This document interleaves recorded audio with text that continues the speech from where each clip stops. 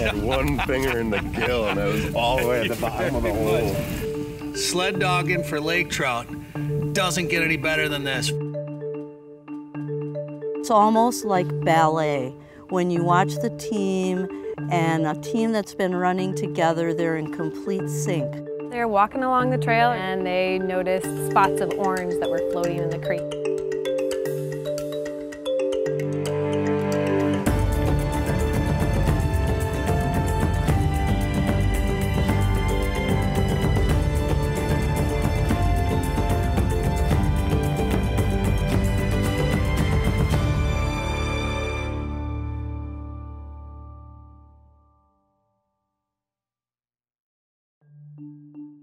Funding for this program was provided by the Minnesota Environment and Natural Resources Trust Fund, Safe Basements of Minnesota, your basement waterproofing and foundation repair specialist since 1990. Peace of mind is a safe basement. Grand Stay Hotels, featuring 35 hotels in eight states and growing. Every guest, every time with Grand Stay. More on the web at grandstayhospitality.com. Diamond Willow Advanced Care Assisted Living, providing custom homes with smaller settings designed especially for high care needs. Live Wide Open, telling stories of why people have chosen to live wide open in West Central Minnesota. More at livewideopen.com. Western Minnesota Prairie Waters, quietly beautiful and wildly connected.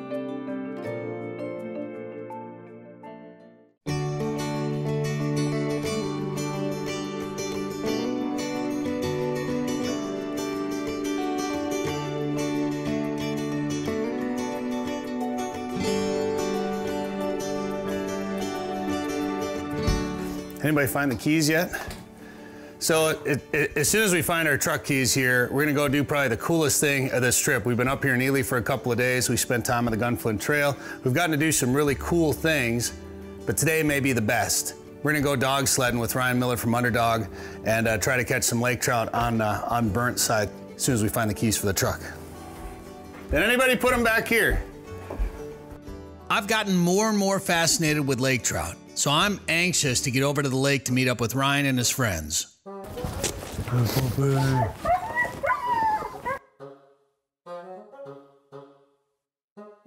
right, so this is gonna be my lead dog today. This is your lead dog. This is Spider. Oh yeah, Oh, he, likes, you already. Me. Oh yeah, buddy. He's uh, eight and a half, nine years old, and he's been running lead for me for as long as I've been doing sled dogs. I, he was one of my first dogs, and he's been my, uh, by far, my most solid leader. Um, Perfect. So I got the A team today. you got the A team today, yeah. And even though I haven't been around dog sledding very much, I've been around plenty of dogs to know they like a good ear scratch. Hike means go, Gee means right, haw means left, whoa means stop. Okay. So he knows Easy enough. he knows all that stuff. Ready to do this, Spider? Huh? Good boy, Ready to do this? Yeah? Okay, so there's essentially just a couple of things you really need to know to be able to come out here and do this for fun on a day like this. And you need to need to know how to slow down and stop your sled.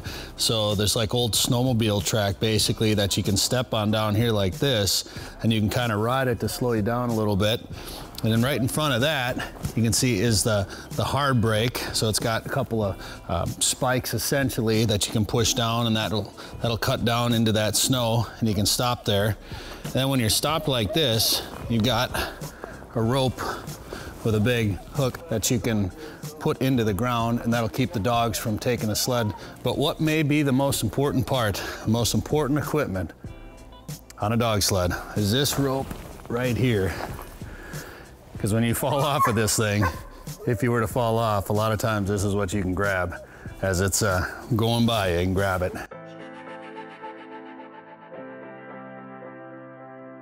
It is said that there's evidence of domestic dogs being used to pull sleds that goes back 9,000 years. The genetics passed down from sled dog to sled dog can be seen in the behavior of the animals we have today.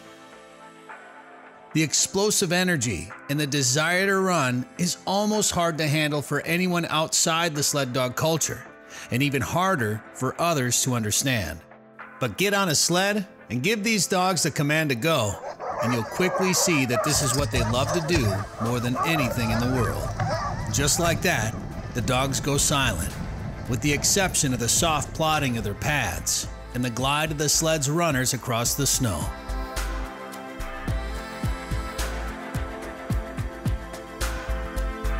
These are the moments you remember on a trip like this.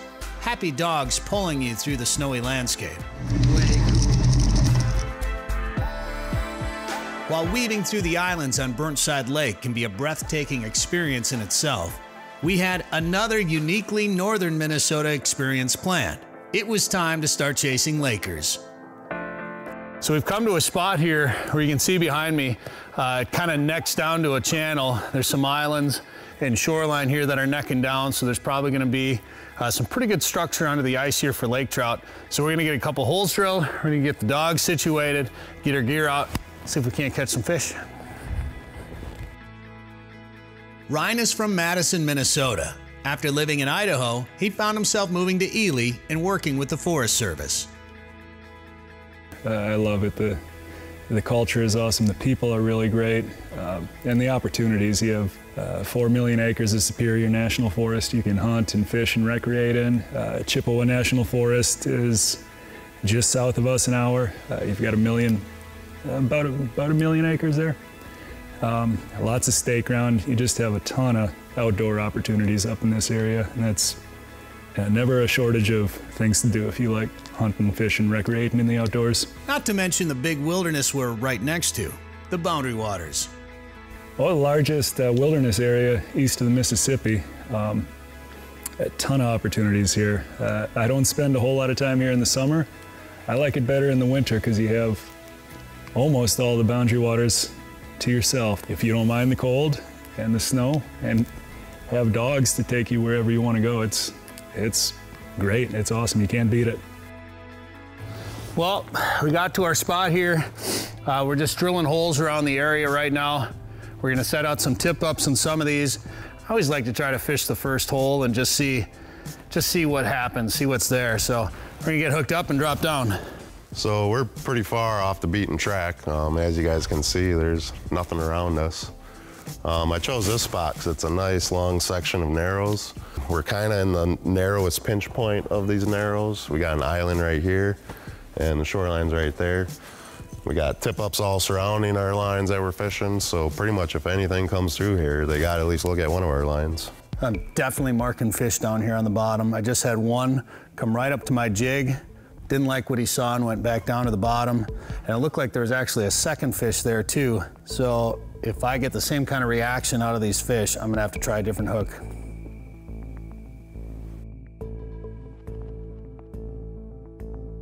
Here we go, here we go. Fish on!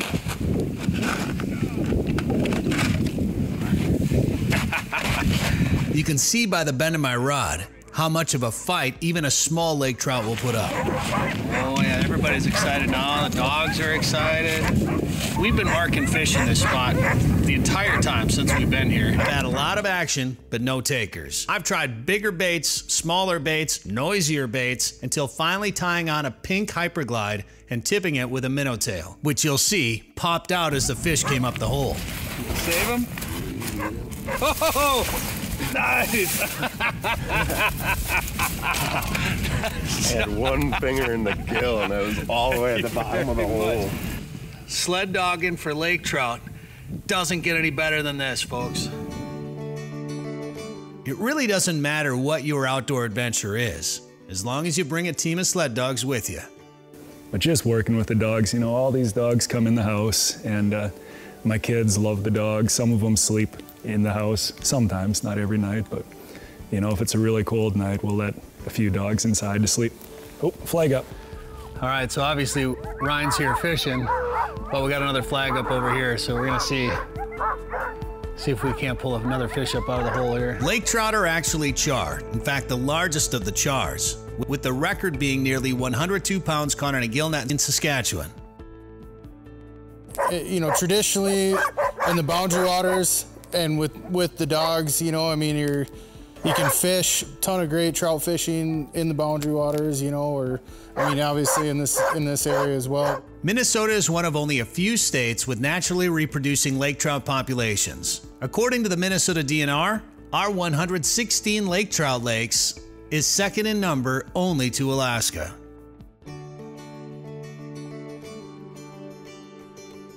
It's lunchtime. Got some brats cooked over an open fire here on a stick. Doesn't get any better than this. I know I've said that about four or five times on this when you're talking about dog sleds, lake trout fish in northern Minnesota, and brats on a stick. It doesn't get any better than that, man.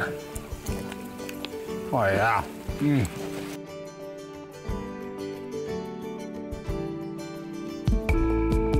The aggression they have, um, you can get stubborn fish, but boy, when you got that lake trout that comes in he's committed, you can't line your jig up fast enough to keep it away from it.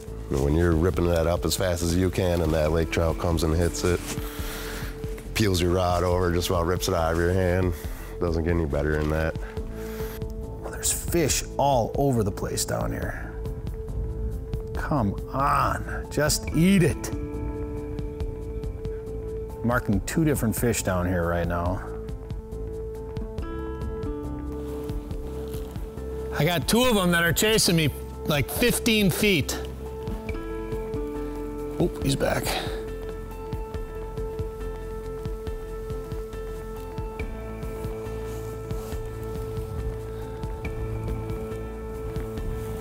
Oh, come on.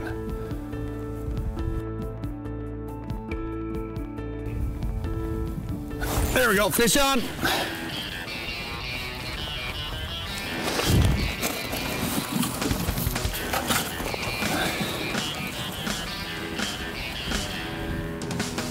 Well, we were just about to give up, pack up, go home. And man, I've just had two different lake trout down there, just all sorts of excited.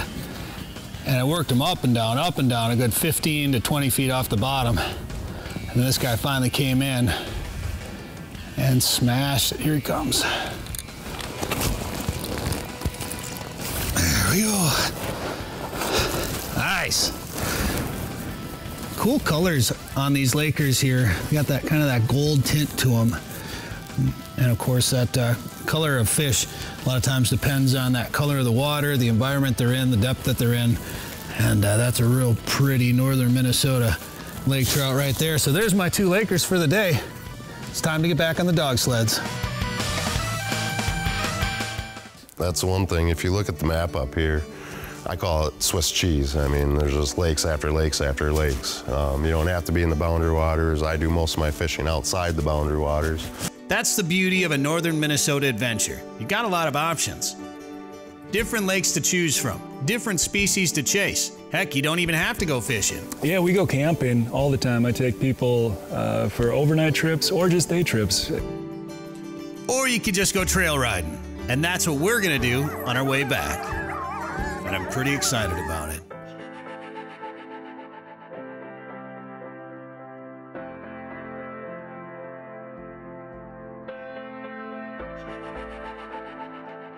For the next hour or so, dogs tethered to my sled were able to run wide open through the snowy expanse. Dogs with names like Spider, Luna, Moon, Soccer, Chainsaw, and Tupac. Modern names doing the same jobs their ancestors did thousands of years ago.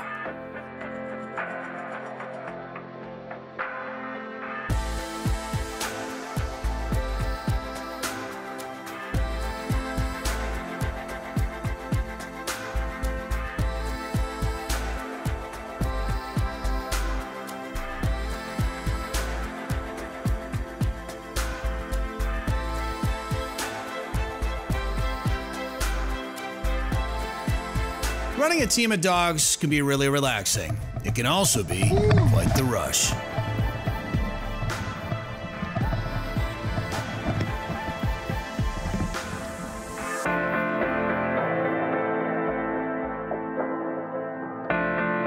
This opportunity for you to get deep into the wilderness with just a team of dogs and some lake trout is something everyone should experience. That was awesome. Yeah, dude. Man, when you get uh, 12, 15 miles out into the boundary waters and sunset and you get to watch the sunrise the next day. Sometimes the northern lights are out. Wolves will haul back and forth with the dogs. Sometimes it's uh, you, you can't beat that. That's uh, about the one of the best experiences you can have, in my opinion.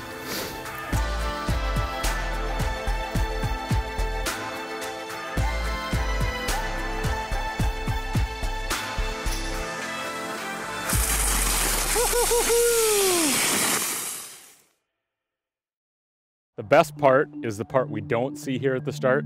The best part is just being out in the woods and it's silent and you know, we're just traveling around and they get into the waters and there's enough food, they're gonna follow their natural instinct and spawn and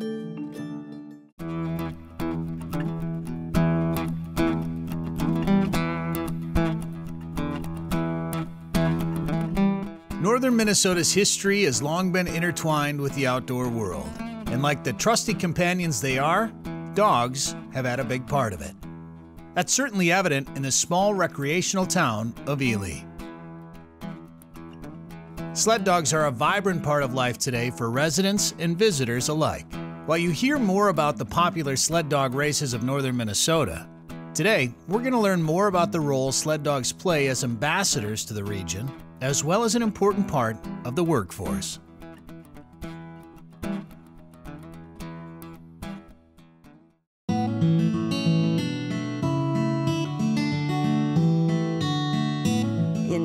1970, the All-American Championship race was a race here in Ely. It started before the Iditarod or the Beargrease or anything, and it was the largest race in the lower 48 states. North Star Sled Dog Club from the Minneapolis area, actually, who got the race started in Ely. And I, it, it had been running almost 10 years by the time I actually raced it the first time. And what made it the race it was because once we got that, the first bunch of teams in, we had the best trails in the United States, probably North America. So that's what the mushers want. And we want them, or the town wants them, for the business. So Ely isn't very busy in the middle of the winter. But one guy went around and interviewed all the people in Bidger and they spent a million eight hundred thousand in Ely. On that one, one weekend. While the All-American Championship race was a success, it mysteriously disappeared after 21 years in 1992. In 2008, the Ely Chamber of Commerce came together to establish the Wolf Track Classic sled dog race, now in its 12th year. So it had been a long, many years since a race had been run, and so we thought that we really needed to have a dog sled race in Ely again. And being that it was also proclaimed to be the dog sled capital of America by the mayor back in 1982.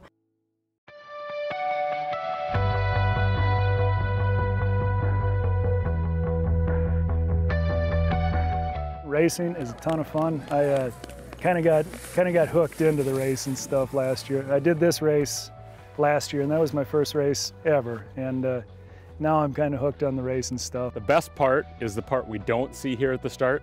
The best part is just being out in the woods and it's silent and you know, we're just traveling around and you know the wildlife just sees us as another part of the woods and you know so we get right up to moose all the time and wolves and you know we're seeing wildlife everywhere. Dog sledding is on a lot of folks' bucket list at least to either watch it or we have several guide programs here in Ely. It's a big boost to the economy. Yeah, there's a number of dog sledding lodges. Um, people fly in from all over. We get people from, you know, from all over the United States and other countries that come in just for dog sledding. People as from as far away as Japan come to go dog sledding here.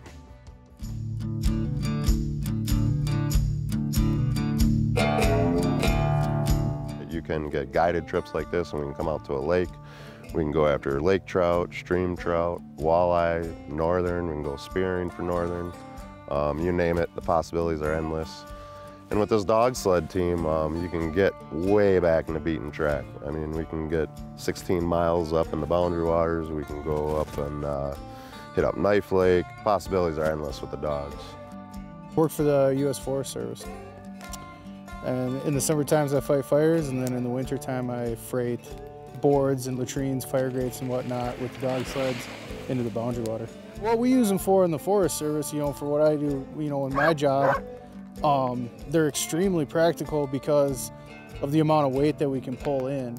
So like the project that I just finished, we hauled 40 boards into a lake to replace an existing rotten boardwalk that's out on one of the portages. And, you know, I would, just an estimate, you know, I'd say that if somebody was trying to do that in a canoe, it would probably take two people, maybe two weeks, you know, three weeks, maybe a month. And with the dogs, we did it in four days. So the efficiency behind, you know, the dogs in a non-motorized area is, you know, you can't, you can't replace that. All of my dogs are volunteers with the Forest Service.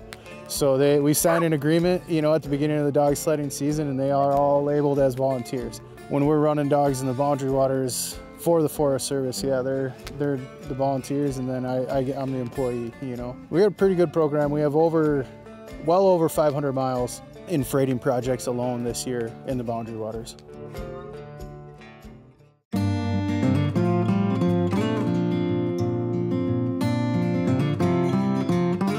That's one of my favorite ways to go. You can go pretty much anywhere you want. Your sled dogs will never break down on you. you know, they're always ready to go. And it's almost like ballet. When you watch the team and a team that's been running together, they're in complete sync. It's, it's, it's like pair bonding for wolves. Their gaits are the same. Their bodies are smooth. It looks effortless, actually. But you still can't really beat a day especially like this, running out into uh, the boundary waters around here. And From racing to working and everything in between, no matter what you're doing, dogs just make everything better.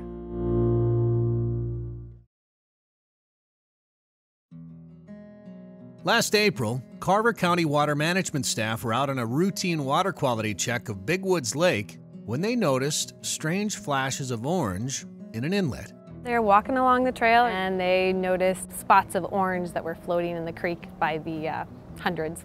They looked closer and discovered the orange spots were goldfish that are not native to Minnesota.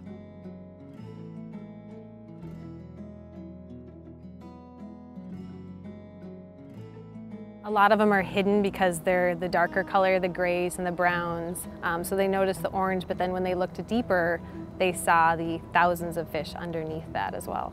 The most likely scenario is someone had a pet and they released it into the water thinking they were doing the humane thing and took a couple of them, probably found each other, and they tend to reproduce pretty rapidly. And because they have no natural predators, again, there's nothing to control the population, so the population can expand pretty quickly. Another option is that it could have been a bait release. So we try to educate people that goldfish are not native species. They're aquatic invasive species, and so they compete with our natural fish and wildlife for food and shelter. Um, they cause a lot of disruptions to our lakes because they are related to carp. So they tend to be bottom feeders and they stir up a lot of those sediments and they release phosphorus, phosphorus into our lakes and rivers, and that phosphorus then can turn into algae blooms or can cause algae blooms. I'm not a fish expert, but I don't think they're terribly picky about habitat. So, or, or water requirements. Like zebra mussels, you know, they have to have so much um, of a certain chemical in the water to really take over, but goldfish are, they're hardy. They can survive fluctuations in temperature in the water, so they survived this past winter with all of our polar vortexes. So I don't, I mean, I don't think they're terribly picky. If the habitat's right and they get into the waters and there's enough food, they're gonna follow their natural instinct and spawn and reproduce and take over. Goldfish can grow to a foot long and live 25 years. And while the thousands discovered near Chaska has captured the media's attention, the invasive species has also been found near Richfield and Chanhassen. And they're trying to deal with them in a number of different lakes. I think the the impact of this one or the intention on this one was because they were so confined to a small space and so visual in such large numbers that that really grabbed the attention of the media and the public. We're just in like the first steps of discussions with other partners to talk about how to deal with the water quality issues and how to deal with the goldfish issues. One of the things we're looking at, uh, the project I mentioned, would be a drawdown. So you would draw down the water in the lake um, to almost gone, and that would allow that phosphorus to be removed from that water body, and it would also address the goldfish issue because there would be no water in the lake. Big Woods is part of a chain of five lakes, so eradicating goldfish will be an enormous engineering feat. The public can help by not adding more to our waterways. Don't flush them down a toilet or dump them into a stream. And don't think you're helping out by capturing goldfish for your home aquarium. So we wanted people to know it is against Minnesota state law to transport live fish. So you can't come here, you can't pick the goldfish up and take them home as a pet because you can't transport live fish. But if you have a fishing license, you can come fish for the goldfish with like a hook and a line. Um, you just can't transport them live. What we try to do is tell people if they have a goldfish or another type of aquarium pet and they don't want it or they can't take care of it, we encourage them to find it another home. Give it away, donate it. Um, you can surrender it. There's surrender events through the Minnesota Aquarium Society. Or you could just check with your local veterinarian or pet store and see what options you have.